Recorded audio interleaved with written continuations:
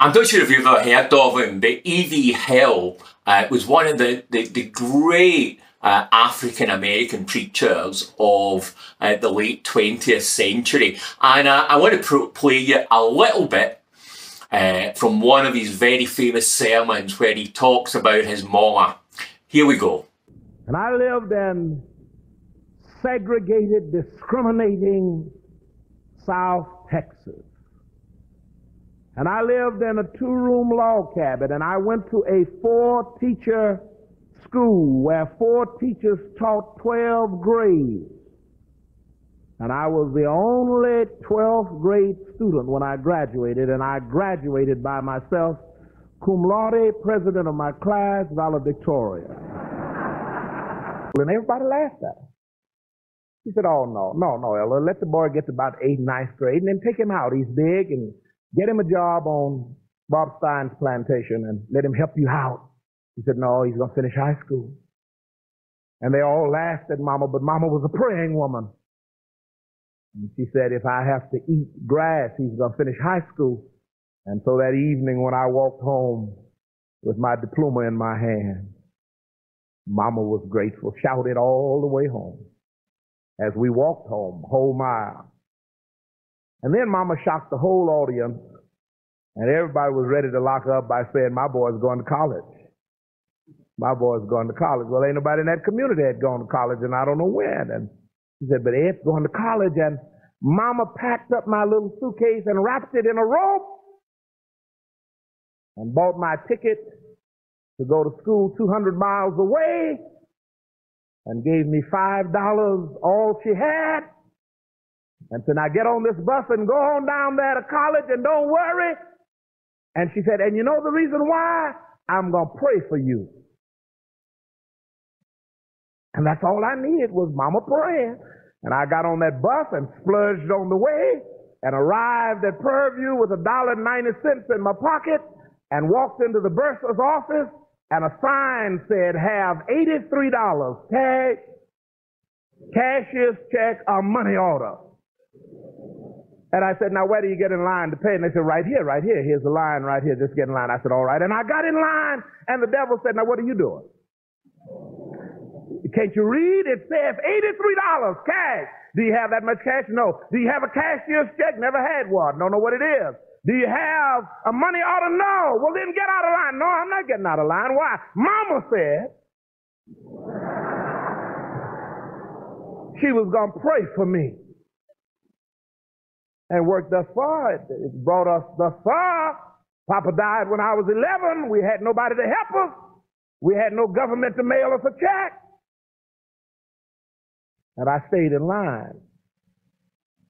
And then there was only three people between me and the clerk. And the devil came back and said, all right now, you're getting ready to be face one of the greatest embarrassments. What are you going to tell that clerk when she says $83? You going to say, Mama's home praying for you? Get on out of line now and you got a dollar ninety cents. Thumb your way on back home. Go on back to the cotton patch. Go on back to the peanut patch and shake a few more peanuts and maybe you can come next year. But do away with this business of faith and prayer. I said, I'm not going to do it. Mama told me to come to school. And mama told me she was going to pray for me. And I'm going to stay in line. And then there was only one. And that's when my faith began to weaken. I said, Mama, Mama, there's only one left. But I stayed in line. And the girl who paid her money paid it. And then she began to wrap up her purse and took just the minute that was necessary.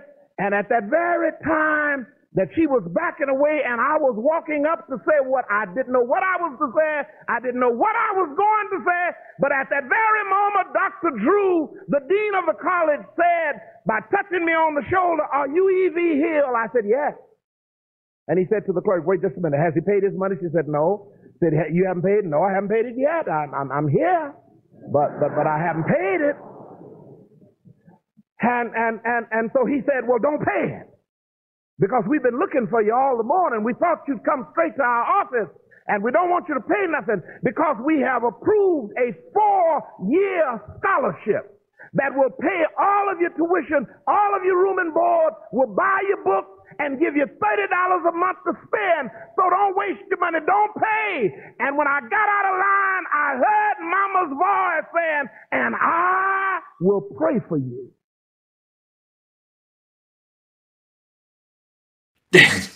Don't you think it would be great to have someone like E.V. Hill's mama praying for you? A, real prayer warrior, a real intercessor. Well, if you've ever felt that that's what you'd like, someone like E.V. Hill's mama behind you, on their knees, interceding for you, uh, I've got really encouraging news for you. Because as great an intercessor as E.V. Hill's mama was, uh, I want to explain to you tonight that all of us have got a greater intercessor praying for us. Now, I want to read you a passage of scripture, and one commentator said about it that no passage of scripture provides greater encouragement for prayer. And I don't know about you, but I know that I always need encouragement when it comes to prayer. So this passage uh, really speaks to me. And if you need some encouragement in prayer as well, let's uh, get to grips with what God is saying here in His Word.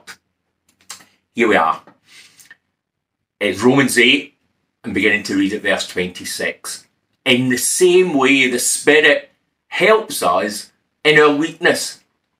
We do not know what we ought to pray for but the Spirit Himself intercedes for us through wordless groans. And he who searches our hearts knows the mind of the Spirit because the Spirit intercedes for God's people in accordance with the will of God. I don't know if you caught it, but in those two relatively short verses, the Holy Spirit is mentioned four times. And so this passage, this famous passage, is about the ministry of the Holy Spirit. But perhaps one of the most neglected aspects of the ministry of the Holy Spirit, and that's the Holy Spirit and our prayer life.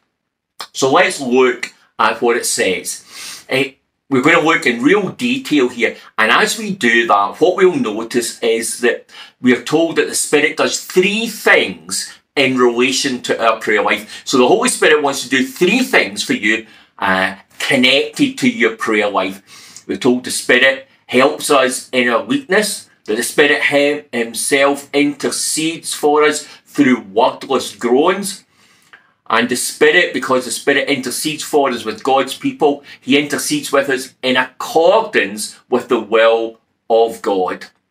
So let's look at these truths. Let's look at these three things that the Holy Spirit wants to do uh, for us in our prayer life and see if we can get some encouragement uh, for our prayer life.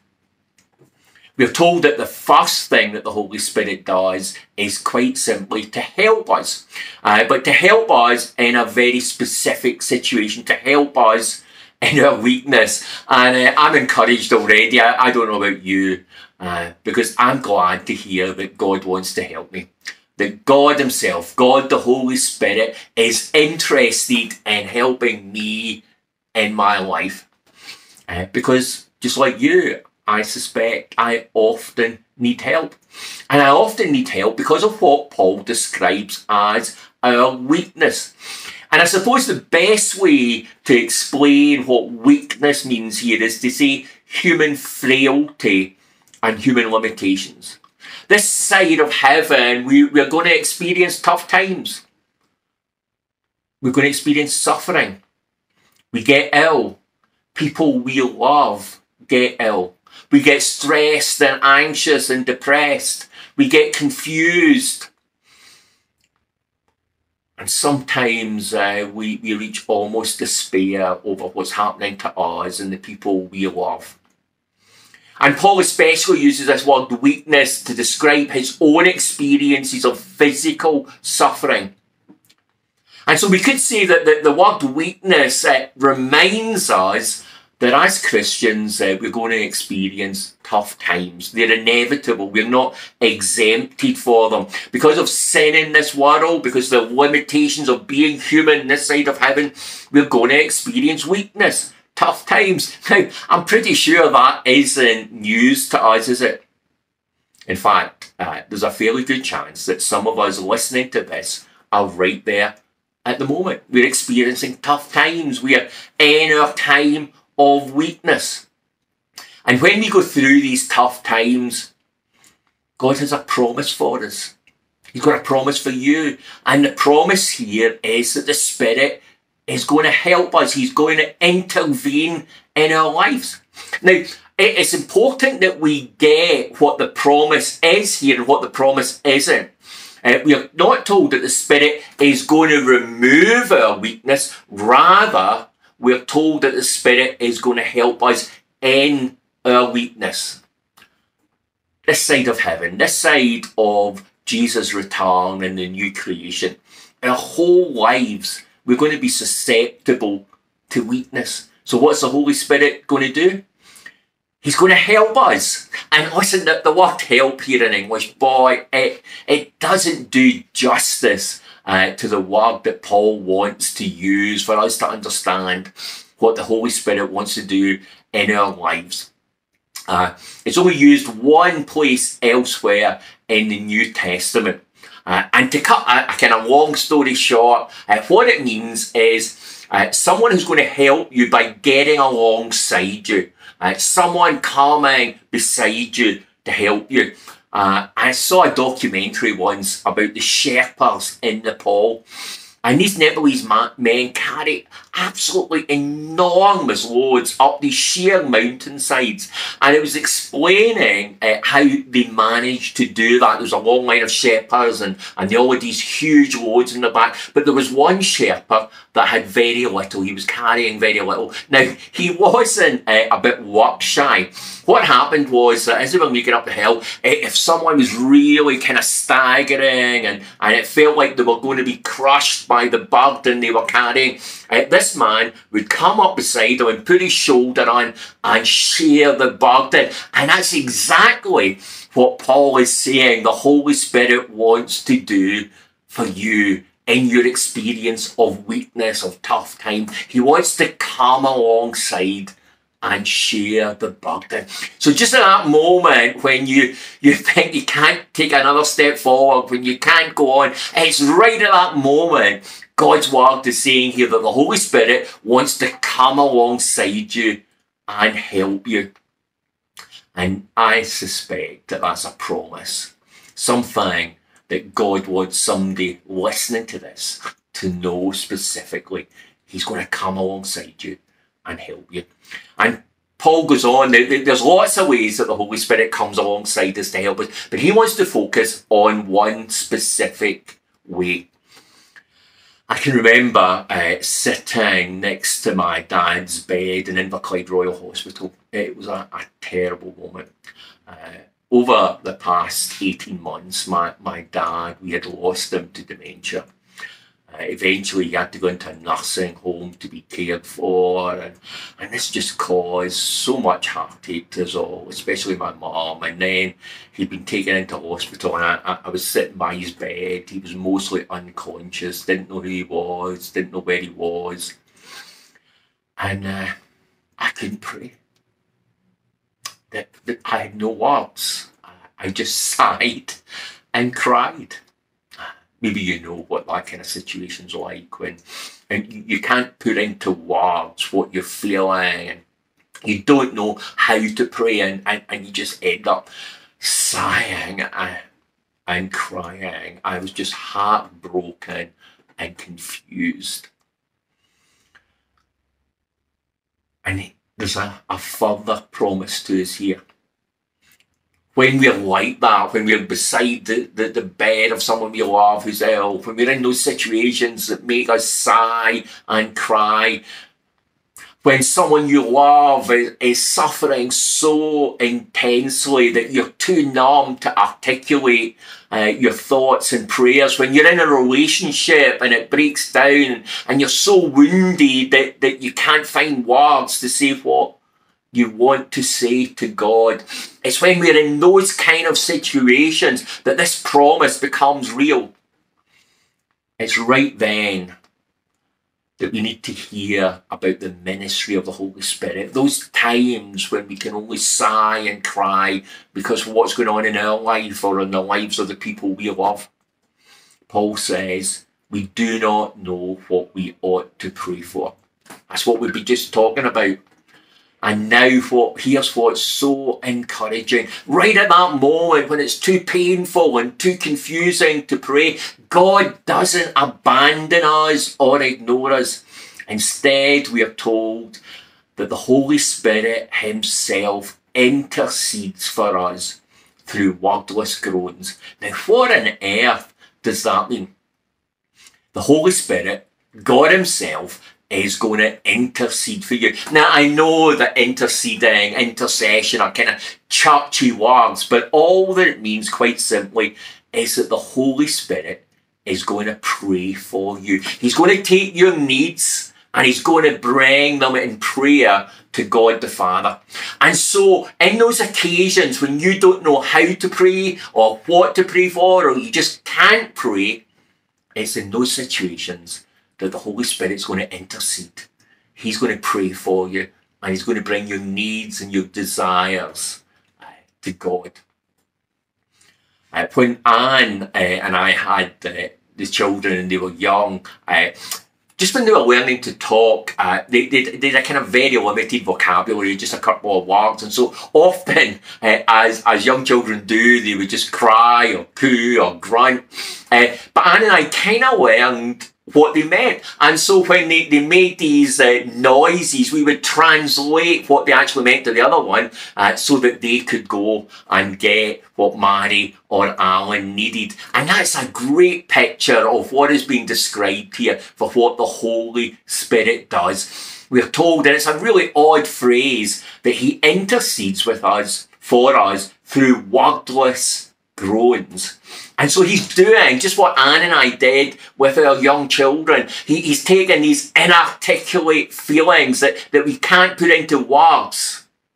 And he takes those, what we've just described as our sighs and our cries, and he brings them to God the Father in prayer. And so here's a truth that I want you to hold on for, on to. There are sometimes going to be things in our life that are going to devastate us and confuse us, and we'll find ourselves not even able to pray. But the truth is, at those very moments when our prayers are only sighed or cried rather than said, the Holy Spirit is going to come and He's going to take those sighs and those cries and those groans, those deepest longings and desires, and He's going to take all that confusion and He's going to shape it into prayer and bring it to God the Father. And something great happens when the Spirit intercedes for us. He takes all these longings and desires and our needs, and just look at what we're told in verse 27 that he who searches our hearts knows the mind of the Spirit because the Spirit intercedes for us in accordance with the will of God. I was trying to think of how to explain that to you, and actually, uh, John Stott said something that explains it far better than I was able to. So I just want to read to you what that means. We do not need to be ashamed of these wordless prayers. God the Father understands prayers that are sighed rather than said because he searches our hearts. He can read our hearts and our thoughts, and He knows what's on the mind of the Spirit because the Holy Spirit always prays in accordance with the will of God. And so the Father in heaven answers the prayers prompted by the Spirit in our hearts. Do you see what He's saying there? What happens is that the, the Holy Spirit takes these uh, desires and longings, sighs and cries, and he takes them to God and he aligns them with the will of God because he knows what's good for us. And God knows our hearts, and so the will of God and uh, the knowledge of God and our needs and desires are all brought together in prayer that God Himself can answer. And think about the implications of that. Sometimes at the very moment when we can't pray, actually, we're experiencing some of the most powerful experiences of prayer that we will ever know because at that very moment, the Holy Spirit is taking those sighs and cries, aligning them with the will of God, and God is knowing our hearts, what's best for us, and it's all coming together in a way that God can answer our heart, our prayers. So, what does all this mean? Maybe right now uh, you're uh, experiencing weakness. You don't know what to pray for, or you can't even pray. And I want to reassure you that right now, this verse is happening in your life. That God the Holy Spirit is interceding for you with the whole with the God the Father who already searches your heart and knows what you're experiencing and knows what you need. At football matches, uh, Liverpool fans often sing, You'll never walk alone. Well, the bottom line for tonight, that one thing that I want you to take away and always remember about this verse is that the Holy Spirit wants to say to you through these verses, You'll never pray alone. Even in the most confusing circumstances, even in the most devastating experiences, you will never pray alone for the Holy Spirit helps us in our weaknesses and intercedes for us with God the Father. Amen.